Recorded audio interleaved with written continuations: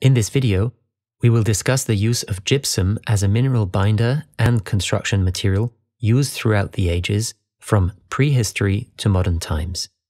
We will then examine the principles underlying its characteristic setting and hardening. You are probably most familiar with gypsum for its use in orthopedic plasters applied to support broken limbs.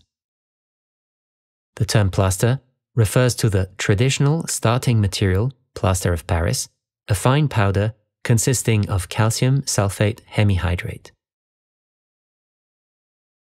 When mixed with water, this becomes a plastic mass that, upon hardening, retains its shape and transforms to solid gypsum, a calcium sulfate dihydrate.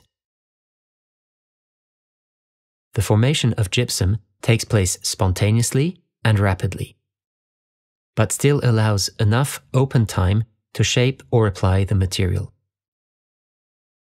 This, together with the ease of production, has determined the success of gypsum throughout the ages. Gypsum plasters and mortars were known already in ancient Egypt, where they were used to line walls, to prepare surfaces for paintings, or to encase mummies, make molds, and funerary masks.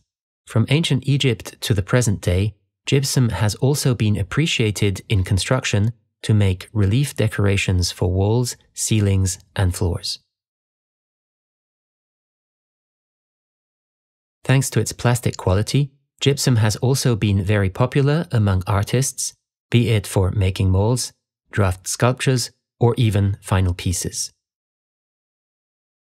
From random amateurs to famous artists as Auguste Rodin, Camille Claudel, and Alberto Giacometti, gypsum is omnipresent in their work and often gypsum splash rich workshops.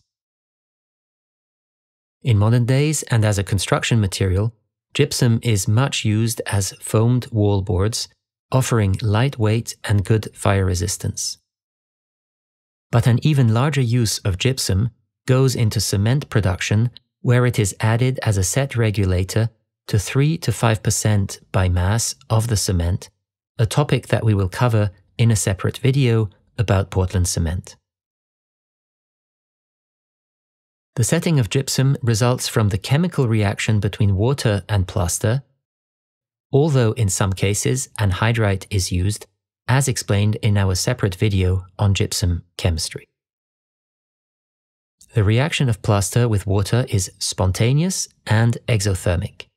It involves 1 mole of calcium sulfate hemihydrate reacting with 1.5 moles of water to form 1 mole of gypsum.